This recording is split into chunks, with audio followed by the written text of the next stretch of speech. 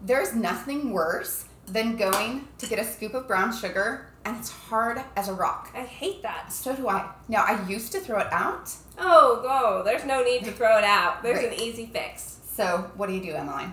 All you need to do is take a piece of bread and place it in with your brown sugar and put the lid on. Now, after a couple of hours, the moisture that's in the bread will go into the sugar and it'll become soft and well able to be used again. Thanks for joining us.